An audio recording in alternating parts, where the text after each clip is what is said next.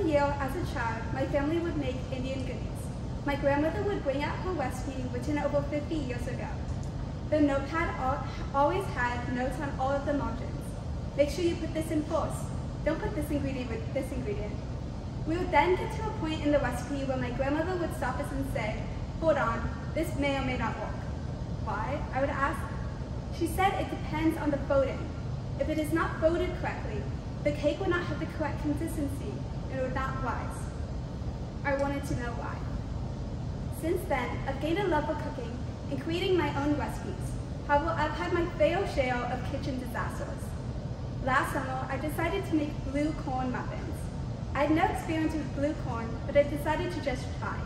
I also decided to add only one tablespoon of sugar because I thought the cinnamon I put in it would even out the taste.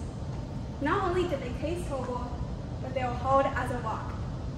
Although the muffins were a failure, I was fascinated. What caused the muffins to be so hard? I figured out that day that it all came down to science.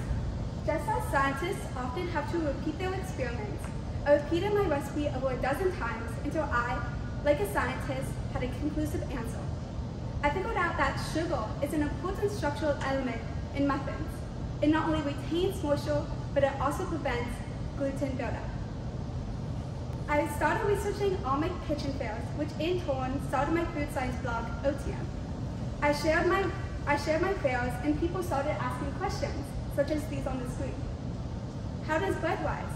How, what, what's an instant pot? What is fleecelone? The key ingredient in all these questions people were sending me was simple, science. Cooking is pure chemistry. So understanding the chemical reactions in cooking allows you to be a more confident chef. Roast meat is a fantastic illustration of numerous chemical processes. If the recipe asks you to add salt before cooking your meat, it is because of the salt's ability to take out moisture to give the surface a slight crunch. When you put the roast meat into the oven, it starts to brown and emit an odor into the oven. This is the Maillard reaction in action. In the Maillard reaction, proteins and sugars bind together with heat and start to detach from the chemical fragments and gives your meat flavor, odor, and color. Just from this simple dish, you could already learn numerous chemical processes and the reason behind certain steps in a recipe. Another example is scrambled eggs. There are two main parts of an egg, the egg yolk and the egg white albumin. The egg yolk contains all the, all the fat of the egg. The egg white contains the proteins. These two components have two different cooking temperatures. So it is essential for you to completely combine the two components to a homogeneous mixture so that there's an even cooking temperature. The best equipment for this is a whisk because it not only allows for an even scramble, but it also adds air into your mixture. A skillet or pan is the best is the best equipment to heat your eggs because it allows for an even cooking temperature. It limits the overexposure of heat, which can damage the proteins in the eggs. When you start to heat your eggs, the heat causes the proteins to unfold the tightly bounded amino acids through a, through a process of protein denaturation. The water is forced out, and you're left with your perfect breakfast.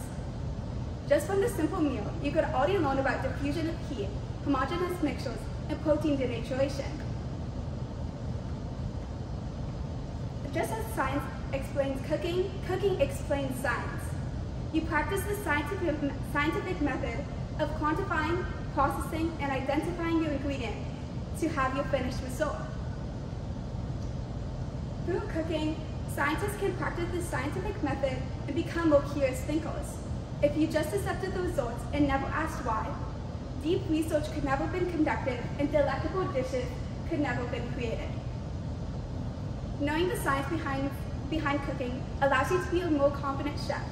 Being more confident allows you to be allows you to understand why certain ingredients go with what and allows you to be more comfortable, comfortable in the kitchen.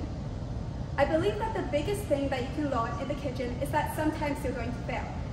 Sometimes you'll overcook your steak, burn those cookies, or try blue corn muffins only to have it fail miserably. And that's okay.